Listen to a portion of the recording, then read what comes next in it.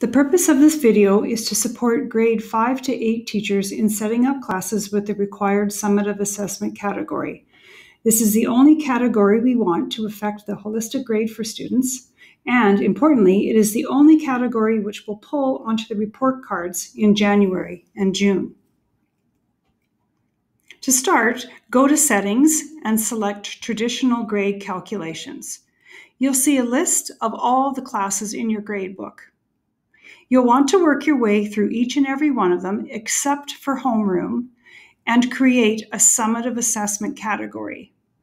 Our core and non core subjects require a summative assessment, even our non core, because we will create one summative assessment for each reporting period in order to get our comments and our marks over to the report card. So let's have a look at my mathematics class. And I can see here that I have two categories. Neither of them are summative assessment. So I can go into here and select, make sure that I have category weighting. I can change this to summative.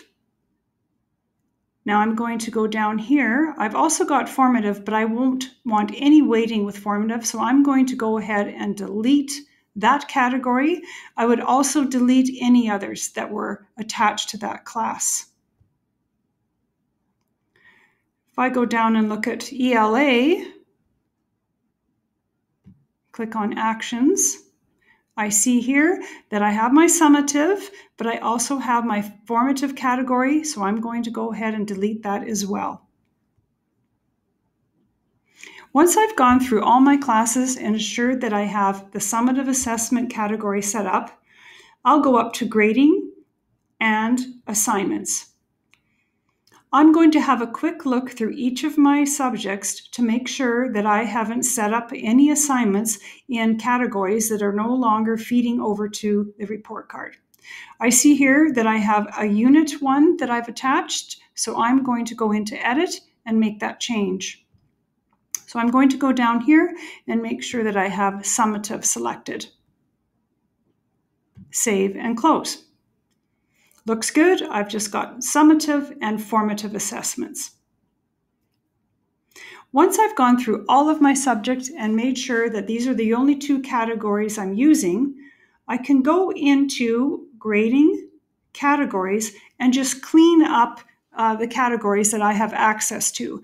I'd want to do that for two reasons. Number one, it just tidies everything up, and it also helps prevent using a category that you will have to change um, in order to have your your uh, assignment show up on your report card. So I want my summative to show here. I do want my formative. There's no no weight attached to it, but I want to be able to select that as well. I don't need the unit final one so I click on the pencil icon and I change it to inactive. From here, I can make that change to all courses. I don't have to go into each and every one. So I just make sure that every class that I'm teaching is selected and then I push save. So you'll see that that category is now hidden. If you want to see which inactive uh, categories are attached to your gradebook, you can view them here and then just turn them off.